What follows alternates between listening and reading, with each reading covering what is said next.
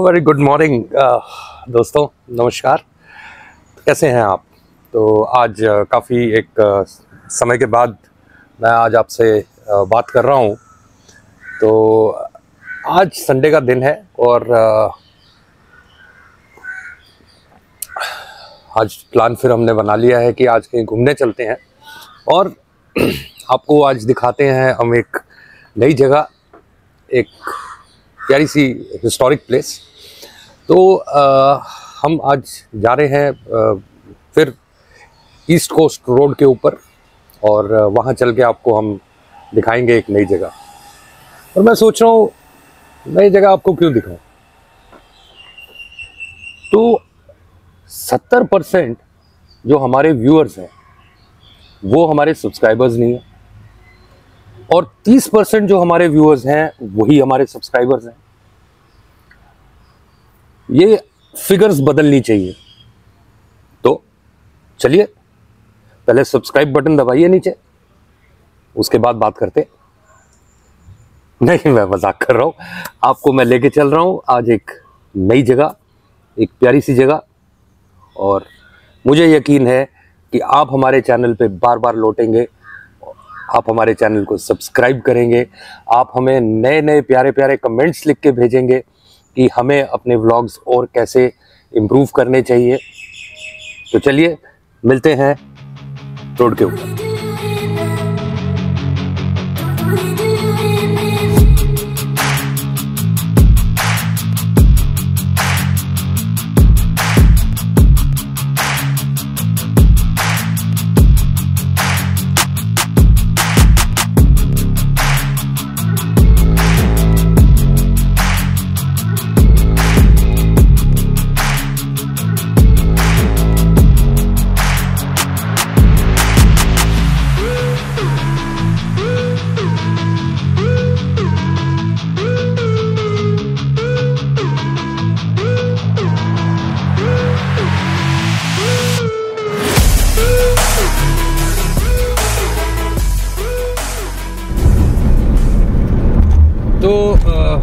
जैसा मैं आपको बता रहा था कि हम जा रहे हैं आज घूमने तो ये है फ़ेमस चेन्नई की ईसीआर यानी कि ईस्ट कोस्ट रोड तो इसके ईस्ट कोस्ट रोड जो है एक्चुअली शुरू होती है कैलकटा से एंड ये जाती है नीचे कन्याकुमारी तक।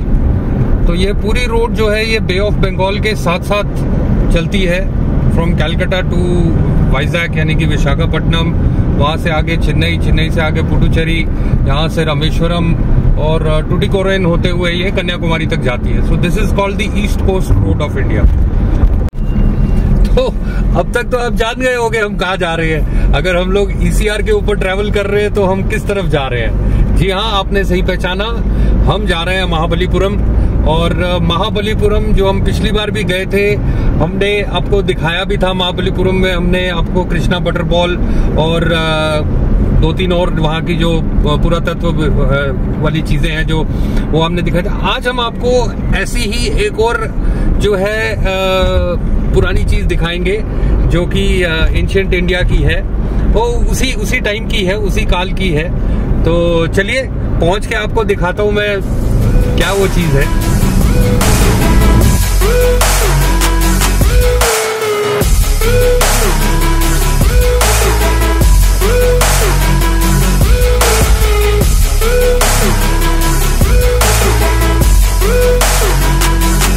तो ये हम अभी आए हैं यहाँ पे टिकट काउंटर है। आजकल सारे आर्कियोलॉजिकल जो मॉन्यूमेंट्स हैं, उनके लिए एक बहुत अच्छी चीज़ जो आजकल हो गई हुई है, वो ये है कि you can buy your ticket by scanning and paying तो ये देखिए मैंने गैलरी ओपन कर ली है। और गैलरी में जैसे ही ओपन किया है तो ये A S I money dot com का वेबसाइट खुल जाता है। तो यहाँ पे जाके आप आराम से अपना टिकट बुक कर सकते हैं।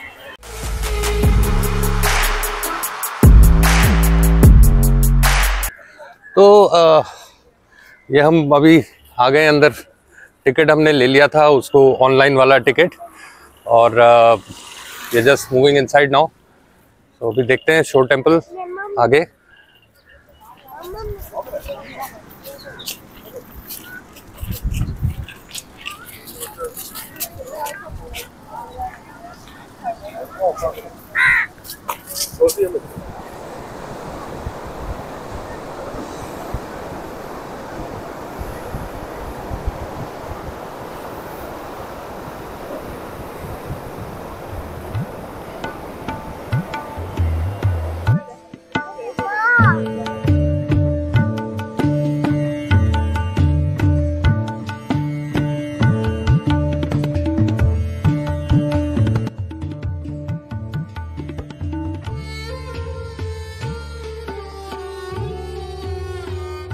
शोर मंदिर, भारत के दक्षिणतम राज्य तमिलनाडु के महाबलीपुरम में स्थित एक हिंदू धार्मिक स्थल है। यह शोर मंदिर मुख्य रूप से भगवान विष्णु और भगवान शिव को समर्पित है। इस मंदिर की संरचना पिरामिड के जैसी है। यहाँ पर काफ़ी अच्छी तरह से खूबसूरत नक्काशी करते हुए अलग अलग जीव जंतुओं की प्रतिमा बनाई गई है। ये मंदिर इतना पौराणिक हो गया है कि इसे संरक्षित करने के लिए यूनेस्को विश्व धरोहर में सूची में इसको उन्नीस सौ चौरासी में शामिल कर लिया गया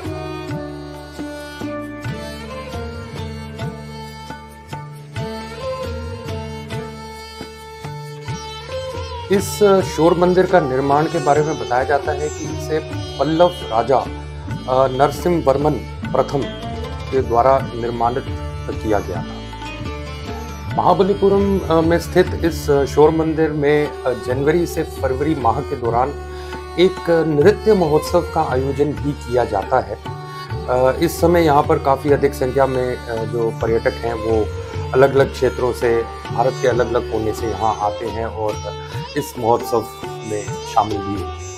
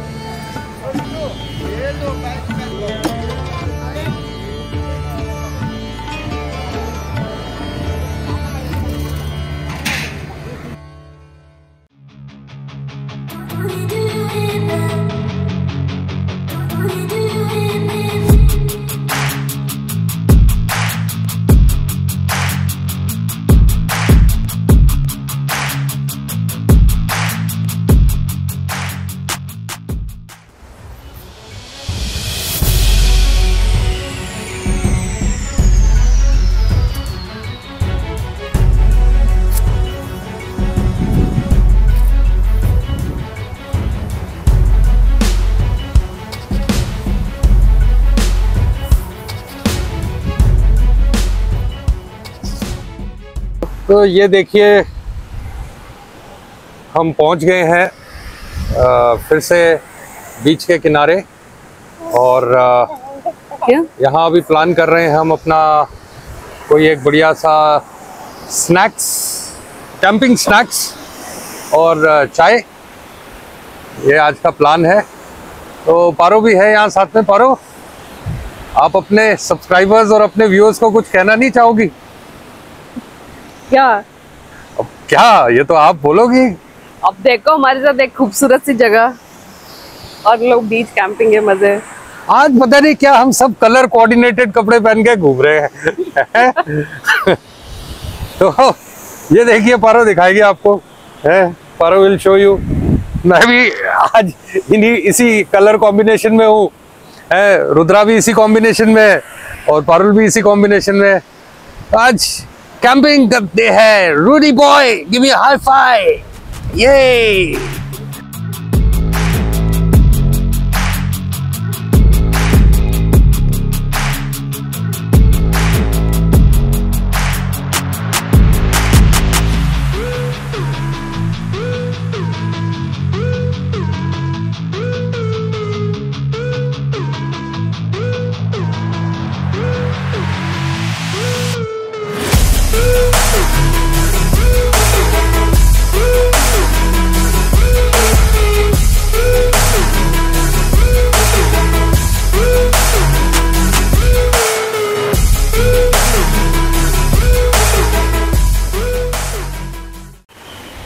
वाओ परो क्या?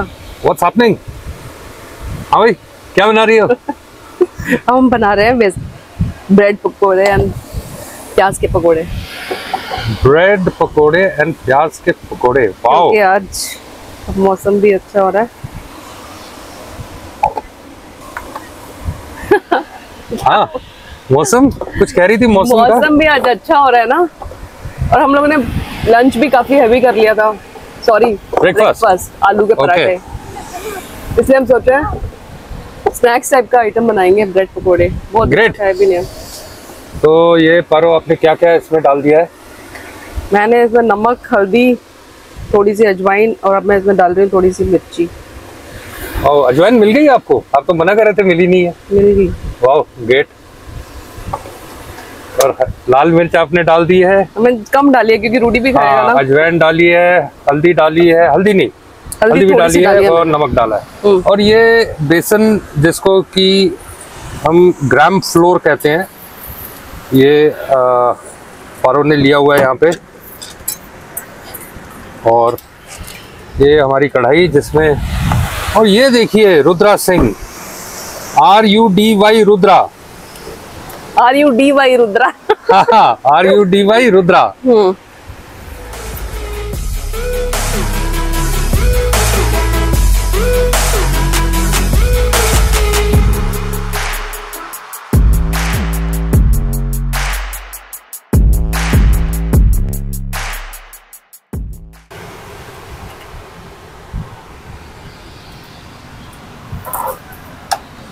पकौड़ों की तैयारी chef Paro.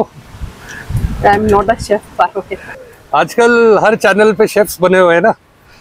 कोई शेफ है। मैं नहीं हूँ शेफ कोई शेफ ए कोई शेफ बी कोई शेफ एस है। तो हमारे पास भी शेफ पी है शेफ पारो।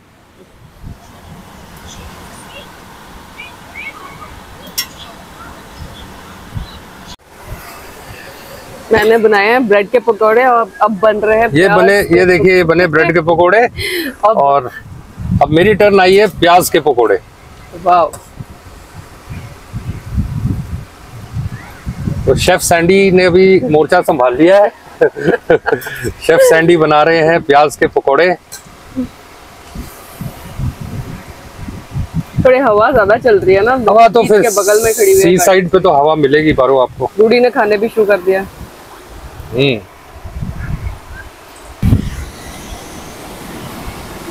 कैसा पारो वेरी टेस्टी बहुत अच्छा।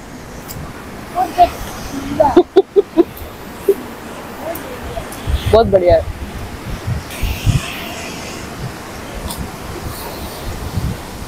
तो मैं अभी टेस्ट कर रहा हूँ प्याज वाला।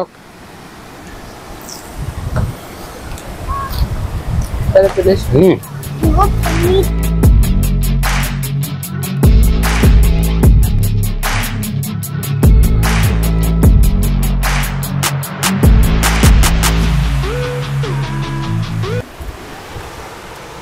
तो ये देखते हैं ब्रेड पकोड़ा। बहुत बढ़िया बना है यार। हम्म। तो ये चाय भी तैयार हो रही है बस। गरम गरम पकोड़े तो हम खा ही रहे हैं।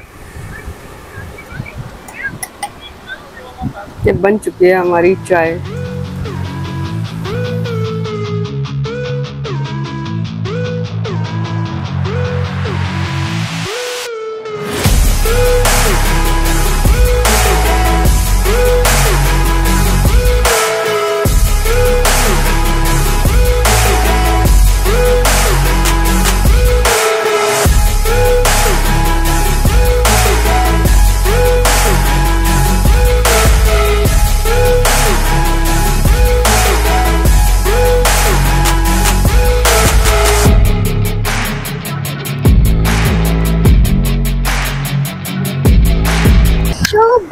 दोस्तों आज बहुत ही एक खूबसूरत सा दिन एंजॉय करके अब हम जा रहे हैं वापस अपने घर। आई होप आपको पसंद आया होगा हमारे डे कैंपिंग का व्लॉग और एक खूबसूरत से नज़ारे जो हमने आपको दिखाए। Thank you so much would appreciate अगर आपको अच्छा लगा तो आप लाइक करें हमारे ब्लॉग को सब्सक्राइब करें और शेयर करें। थैंक यू और सबसे इम्पोर्टेंट चीज़ जो पारुल आपने बताई नहीं है प्लीज़ कमेंट आपके कमेंट्स जो हैं व्यूअर्स वो हमारे लिए बहुत मायने रखते हैं। बहुत इंपॉर्टेंट है हमारे लिए। हमें पता चलता है कि आप कैसे व्लॉग्स देखना चाहते हैं आप हमारे व्लॉग्स पसंद कर रहे हैं या नहीं कर रहे हैं। तो प्लीज़ कमेंट करना मत भूलिए और सबसे इम्पोर्टेंट चीज़ जो पारुल ने बोली है सब्सक्राइब करना मत भूलिए। Thank you bye